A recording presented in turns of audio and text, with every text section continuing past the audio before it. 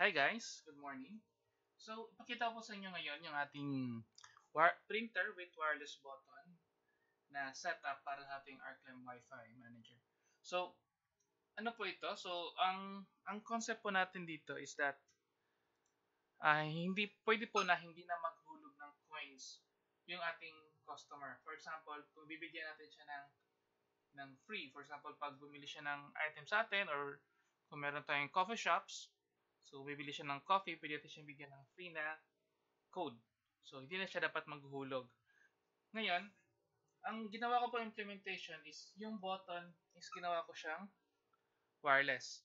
So, ito, pwede ito nakalagay lang sa kahera para ano, secure. So, yung communication naman nito is via 2.4 GHz na ano, na ano, naka-pairing siya na implementation. So, ito 'yon.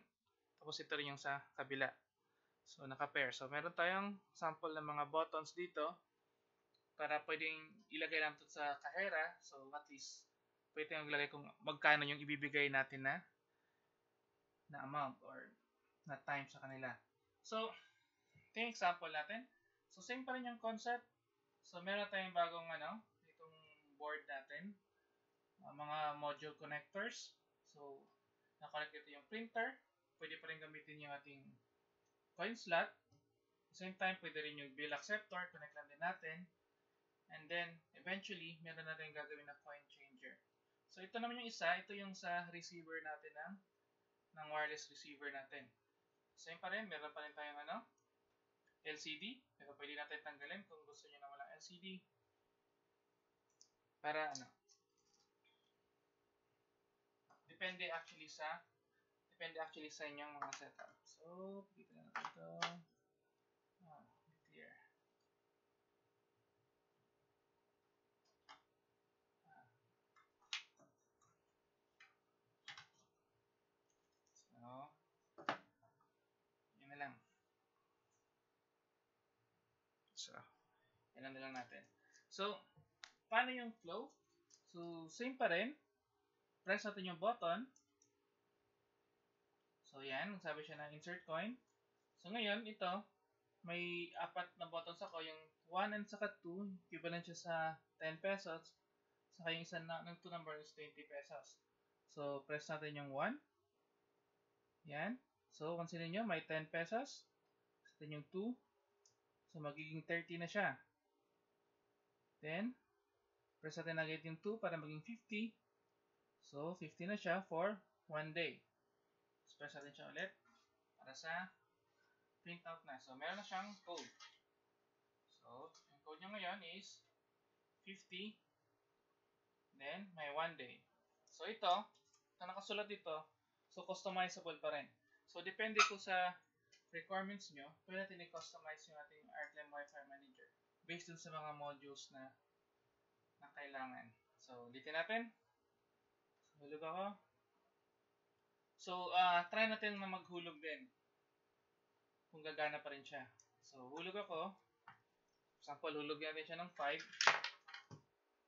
Tapos, another naman. So, 10. So, ngayon, bibigyan natin siya ng free na ano. Yan sa cashier. Free na na 10 pesos. So, yan. Nagiging 20 na. 7 hours. So, pinitin natin ulit. Yan. So, ayun printer. So, ito yan guys. Yung device natin. Naka uh, lithium ion lang siya na ano. And ito yung ano niya, ito, kaya to ng open space na 100 meters. Tapos yan. Siya na yung mag-trigger ng ano, ng coin, insert coin. So, test natin ulit. So, yan ang, yan. Bigyan natin ng 20, 20, yan, 20, another 20, 60, yan, 80, tapos 100, yan. So, depende na sa inyo kung paano i-implement. So, customizable po ito siya. So, sabihan niyo lang ako kung anong gusto niya na or anong requirements niya sa setup. So ito, itong setup na to is na-belong to siya sa ating ArcLem V4. So, yung sa mga past na videos na nakita niyo na meron din siyang ano, meron tayong yung sa alcohol. Um, yung ArcLem V4, halos kompleto na siya lahat.